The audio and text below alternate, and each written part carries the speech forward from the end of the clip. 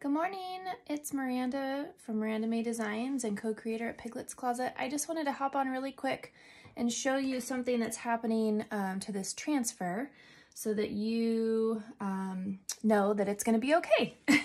so I just am starting, I have um, applied the transfer with my hand, I've gone over it with the um, burnishing tool that comes with the transfers, and when I pull it away, I'm hoping you'll be able to see it, that piece isn't on there.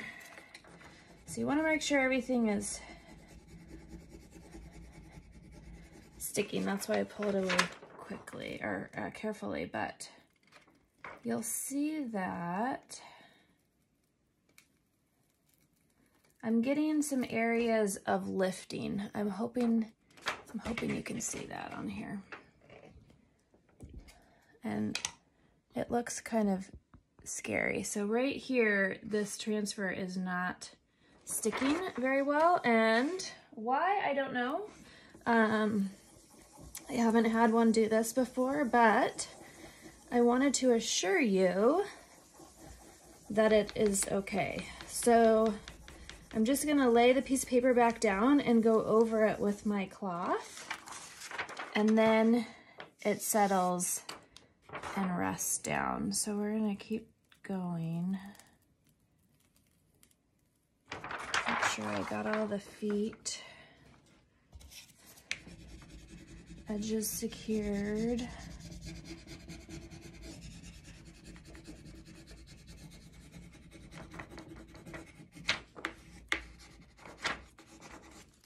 Okay. And it's doing it again. And I don't know if it's just sticking really well to the the paper, the backing paper here. Um, but it doesn't seem to be an issue after I burnish it with a cloth.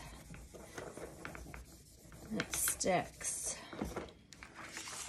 So I just wanted to hop on real quick and show you because it looks a little bit scary.